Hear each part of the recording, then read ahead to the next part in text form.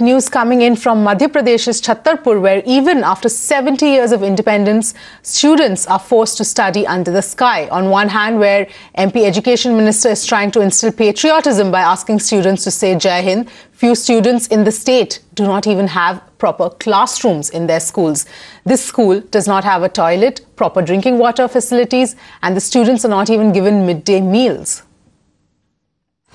यहाँ पर स्कूल नहीं है रास्ते में बैठते हैं धूप लगती है पा, पानी पी भी जाते तो गाड़ी वाहन का डर लगता है हमारी बिल्डिंग बन जाए हम अच्छे से पढ़ सकें।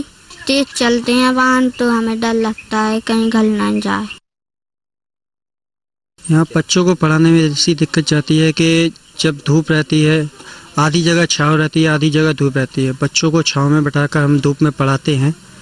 जिससे दिक्कत काफ़ी होती है, काफ़ी वीकनेस टाइप की आती है और फिर बार बार प्यास भी लगती है यहाँ पर। पानी की कुछ व्यवस्था तो नहीं है, बाजू में थोड़ी दूर पे एक हेडपम्प लगा है। उस हेडपम्प से ही बच्चों को पानी के लिए भेजा जाता है और साथ में जाया जाता है उनके साथ।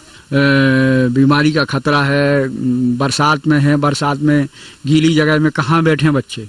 एक कमरा किराए से हम लिए हैं उसी किराए के कमरे के अंदर हम बच्चों को बिठा लिए। स्कूल की बिल्डिंग नहीं है तो रोड पे तो लगाएँगे क्या करेंगे? उस तरफ़ जब वो मकान जो हम किराए से ले उस तरफ़ धूप आ जाती है तो इस तरफ़ ले आते हैं बच्चों को। अब यहाँ धूप आ जाएगी तो थोड़ा और आगे बढ़ जाएँगे इस गली में और बढ़ जाएँगे हम। क्या करें? चलित स्कूल है वो तो हमारा।